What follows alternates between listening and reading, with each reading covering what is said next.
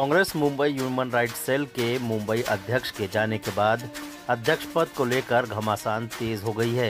हालाँकि चुनावी माहौल को देखते हुए कार्यकर्ता और पदाधिकारी कांग्रेस को मज़बूत करने में लगे हुए थे, पर अब एक बार फिर 24 अक्टूबर को मुंबई अध्यक्ष पद को लेकर पदाधिकारियों में उत्सुकता देखने को मिल रही है।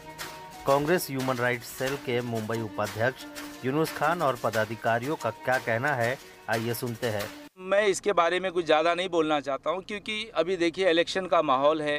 इलेक्शन का अभी देखिए, हम अभी अभी जस्ट रैली से आए हुए हैं और वापस से हमें रैली में जाना है। और काफ़ी तमाम लोगों का बुलावा है, तमाम हमारे, मुझे जितने भी कैंडिडेट हैं मुंबई के अंदर, जो लोग मुझे जानते हैं पर्सनली वो मुझे कॉल करके बुलाते हैं, क्योंकि मेरी टाइम मेरी टीम बहुत अच्छी है, माशाल्लाह। मेरी बातों को सुनती है और मैं भी उनके लिए दिलो जान से उनके उनके उनके लिए लगाव रखता हूँ। इसीलिए ख़ास करके मैं चाहता हूँ कि इसमें ज़्यादा समय ना दूँ और इसके बा, इसके बारे में ज़्यादा टिप्पणी ना करूँ।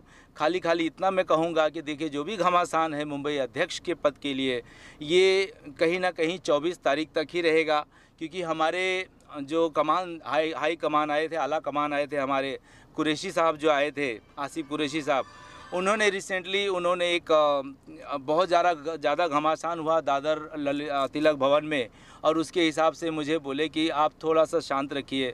इनको हम 24 तारीख तक मौका देते हैं और उसके बाद में जो भी होगा हम हम आगे का बात बढ़ाएँगे। मुझे कोई दिक्कत नहीं है। आला कमान जो निर्णय लेते हैं, वो निर्णय के ऊपर हमें खरा उतरना है, क्योंकि वो हमारे हमारे बड़े हैं, वरिष्ठ हैं, वो जैसा भी फैसला करेंगे हमें मंजूर है। लेकिन मैं एक ही बात चाहता हूँ कि आज जो घमासान चल रहा है, मुझे ऐसा लगता है कि कहीं ना कहीं मैं अच्छे लोगों के हाथ में ही ये चाहता हूँ हम आला कमान से गुजारिश करेंगे कि अच्छे लोगों के हाथ में ये सौंपा जाए, क्योंकि बहुत बड़ी ज़िम्मेदारी है। मुंबई मुंबई है, मुंबई में अच्छे बुरे लोग सभी रहते हैं, लेकिन ऐसा हमें अध्यक्ष चाहिए जो अच्छे और बुरे दोनों को सीने से लगा के और अपने कांग्रेस पार्टी में जोड़े और उनकी बातों को सुने, किसी के ऊपर गुरूर, घमंड तकबर तकवा ना करे और किसी को किसी की औकात ना दिखाए, यही बेहतर चीज़ है।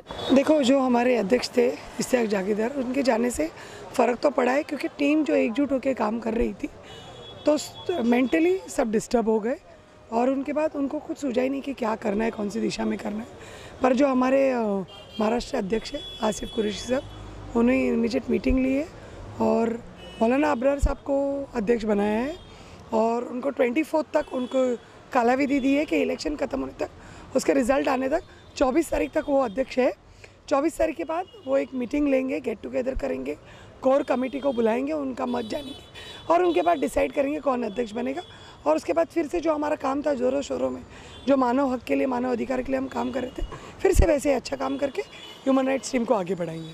आपको क्या लगता है कि किसको बनना चाहिए मुंबई अध्यक्ष? वो तो हर कोई चाहेगा वो मुंबई अध्यक्ष बन जाए। पर सबने अपने अपने रिज्यूम दिए जो जो कैंडिडेट इच्छुक है उन्होंने अपने अपने रिज्यूम भेज दिए महाराष्ट्र ऑफ़िस में। अब वो सर डिसाइड करेंगे कि वो किन को लायक समझते हैं अध्यक्ष।